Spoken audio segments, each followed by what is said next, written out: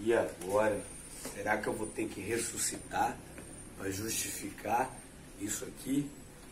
Eu sou fantasma consumidor que só a me vê. É isso aí, turma. Sextou, a gente tá brincando. Mas olha o que esse consumidor mandou para mim aí.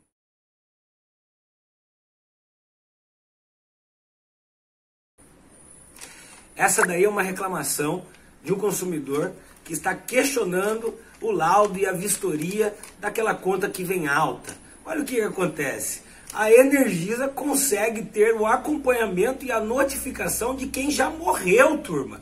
Então, quando você contesta ali e reclama, e você vê que não muda a conta de energia, é por isso. Agora a Energisa presta esse desserviço ao Cuiabano e agora também notificando e acompanhando pessoas que já morreram fantasma.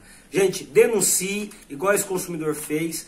Envolve aquela denúncia que nós fizemos com aquela idosa que solicitou a vistoria e já esperava três meses. Então a Energisa, além de não atender idosa, ela está atendendo pessoas que já faleceram. Denuncie, junte-se a nós.